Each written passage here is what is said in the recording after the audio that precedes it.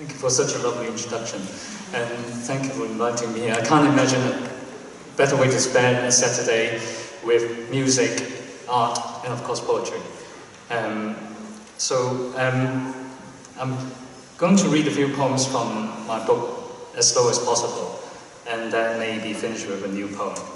And uh, in, the, in this book, uh, there's a sequence called 12 Months. Uh, basically, there are 12 poems, one for each month. Since we're in January, I think it's actually a good point to start. Um, this poem called Janus. So, um, Janus is the god, a Roman god with two heads, two-headed gods. I think a lot of Romans actually have them by the door because Janus is supposed to be the god for beginning and ending, for portals, doors all around us. Given it is a year of beginning and possible exit, um, I think it's a fitting beginning. Janus. Of the front door yet to be repainted, probably this spring in Hague blue. Of the porch door newly painted in a draft washed white. Of the kitchen door ajar, smell of a pork shoulder roasting in garlic and fennel seeds. Of cat of the cat flap reserved for the sleek, handsome Pantalaimon and regally neurotic Aphrodite.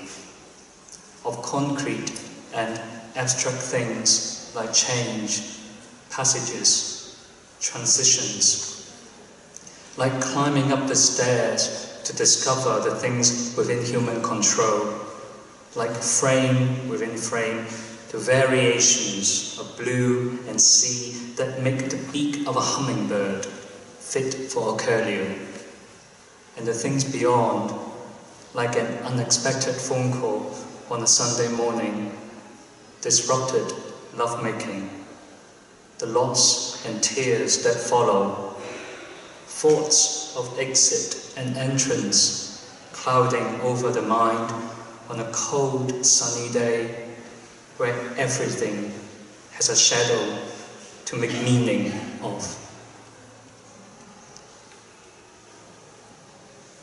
I'm going to move from um, the Roman god to a different kind of religion.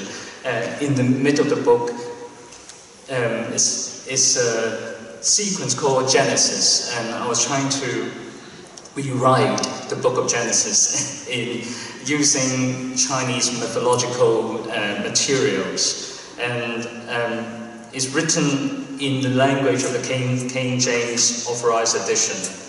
And since we have wind music here tonight, I think I'm going to start with um, chapter 2 of Genesis, which is about the creation of human beings and also about music.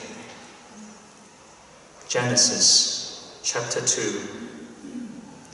Thus the sky and the land flourished, and all the host of them. And there was no trace of human beings. And the goddess Nüwa appeared with Fuxi, her brother and husband. And they had the face of humans, but the body of serpents. And Nüwa wandered the lonesome sky and the lonesome land, and pitied their lonesomeness. And she learned the lessons of the wind, planted her hands in the yellow river, healed the earth, and said, Let us make humans in our image, after our likeness. So she created humans in her image molded the earth into shapes without detail or features. And her pace was slow, and so many died before they lived. So Nüwa fed a reed into the wet earth, flicked it high with her arm, and turned the earth into the living. Although her pace was quicker, the human beings that she made were without details or features. So Nüwa deployed, employed wind, which divided men and women, drew their faces, and gave them limbs. And with the help of the wind, lo, the reed flew sky high, and Nüwa's labors multiplied seventyfold. And Noah saw the living she, she had made, and beheld that it was good. But human beings were lonesome creatures. Without language, men and women cannot know how to love and care for each other. So Nüwa borrowed the language of the wind, plucked reeds, bound them into vertical pipes, and created an instrument. She called it sheng, the living. And she taught men and women to borrow the language of the wind, which was the language of music, which was the language of love. And men and women used the 50 chords of sheng for the emotions. And where there was music, there was harmony among the living. And Nüwa saw the men and women who spoke in harmony with the wind, and she granted them a new way of living a union of two called wedlock. And Nüwa learned the lessons of the wind and heard the happy and sad music of man and woman who were once a grain of earth on a hollow reed.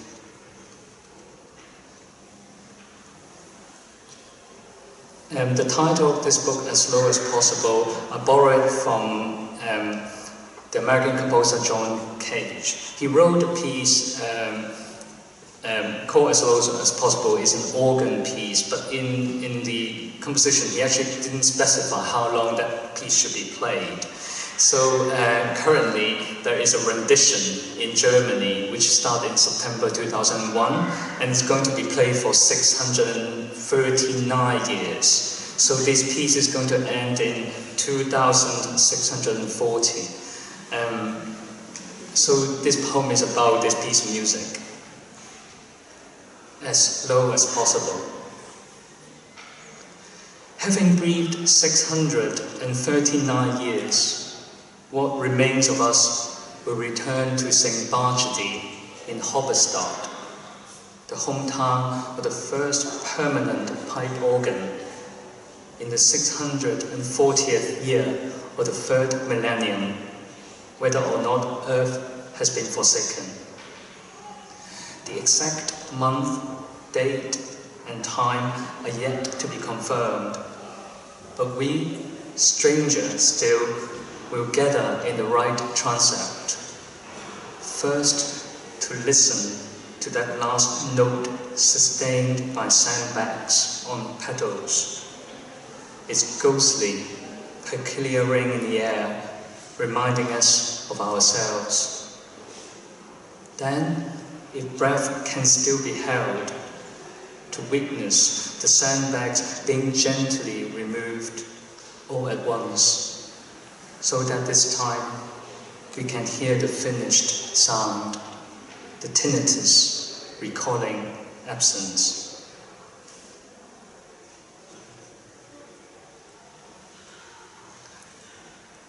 Um, since we're in a gallery, I'm going to, have, uh, to read a poem about uh, a painting. Uh, it's painting by the Spanish painter Velázquez. Um, when I saw, I think this painting is actually in the Dublin National Gallery. Um, when I saw that painting, it was it's depicting um, the the scene of uh, the road to Emmaus when Jesus um, saw two disciples and they and he invited them to dinner. And, but this painting by Velasquez actually focused on the maid who prepared the dinner. And, and when I saw that painting, I thought, God, that, that maid looks like my mother. And this poem is called My Mother in a Velasquez.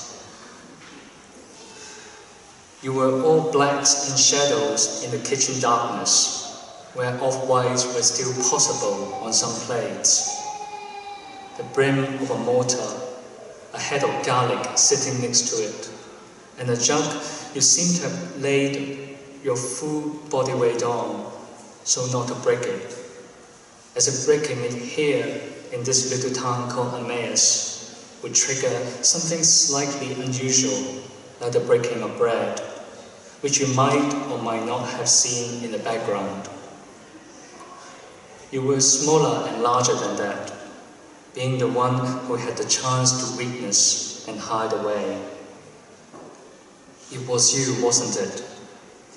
Though you're not that African, that worrying look in the shadows of your brows could only have been you, or at least how I or Velasquez would have painted you back in those days, those days cleaning other people's kitchens. I remember singing Joyful, Joyful, we adore thee in Cantonese. I've learned from a school mass when the houses were freed of the hosts, when you turned the hoover to full blast. My nose was caustic soda. I sang and sang and sang my heart out. The house came clean, the air was deprived of dust. Thank you.